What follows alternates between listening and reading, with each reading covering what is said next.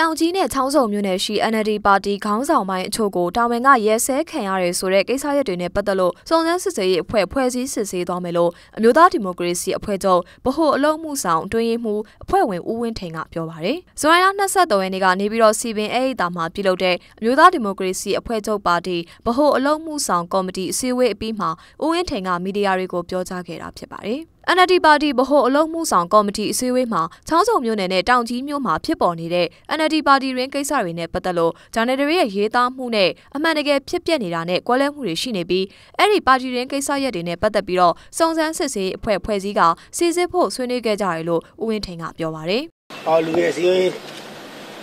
လုံးမဲ့အရွယ်ချက်တွေအဲ့လူငယ်စည်းရေးလုံးဖို့တဲ့လူငယ်ခွင့်တရားဖော်လို့ကော်မရှင်ခဲ့တာခု နောက်တစ်ခုကသူလောဆယ်ဖြစ်နေကို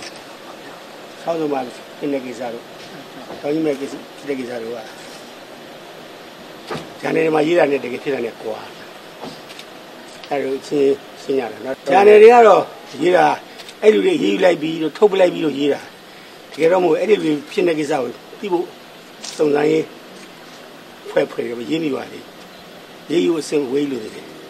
အဲ့ဒီစုံစမ်းစစ်ဆေးရေးအဖွဲ့မှပါတီဗဟိုအလုံးမှုဆောင်ကော်မတီဝင်ဦးထွန်းထွန်းဟိန်ဦးဆောင်က3ဦးပါဝင်မှာဖြစ်ပြီးစုံစမ်းစစ်ဆေးမှုတွေကိုတလအတွင်းဆောင်ရွက်သွားမယ်လို့ဦးဝင်းထိန်ကပြောပါရယ်။ဒါအပြင်အစည်းအဝေးမှာလူငယ်စီယုံရေးလုပ်ငန်းတွေဆောင်ရွက်ဖို့လူငယ်အင်အားဖော်ထုတ်ရေးကော်မရှင်ဖွဲ့စည်းဖို့ကိုလည်းဆွေးနွေးခဲ့ကြောင်းအဲ့လိုဖွဲ့စည်းသွားမယ့်အမျိုးသားဒီမိုကရေစီအဖွဲ့ချုပ်လူငယ်အင်အားဖော်ထုတ်ရေးကော်မရှင်မှာအင်းစိန်မဲဆန္ဒနယ်မှပြည်သူ့လွှတ်တော်ကိုယ်စားလှယ်ဦးမမောင်ဦးအပါအဝင်အဖွဲ့ဝင်17ဦးပါဝင်မှာဖြစ်တယ်လို့ဦးဝင်းထိန်ကပြောပါရယ်။အမျိုးသားဒီမိုကရေစီအဖွဲ့ချုပ်ဗဟိုအလုံးမှုဆောင်ကော်မတီအစည်းအဝေးကိုပြည်သူ့လွှတ်တော်ဥက္ကဋ္ဌဦးဝင်းမြင့်ဦးဝင်းထိန်ဦးညံဝင်းမန္တလေးတိုင်းဝန်ကြီးချုပ်ဒေါက်တာဇော်မြင့်မောင်အပါအဝင်အဖွဲ့ချုပ်ရဲ့ဗဟိုအလုံးမှုဆောင်ကော်မတီအဖွဲ့ဝင်တွေတက်ရောက်ခဲ့ကြတယ်လို့သိရပါတယ်။တောင်ကြီးမြို့နယ်အမျိုးသားဒီမိုကရေစီအဖွဲ့ချုပ်အလုံးအမှုဆောင်အဖွဲ့ဝင်14ဦးကိုတာဝန်မှရက်စဲကြောင်းပါတီရဲ့ဗဟိုအလုံးမှုဆောင်အဖွဲ့အတွင်းရေးမှူးအဖွဲ့ဝင်ဦးဝင်းထိန်က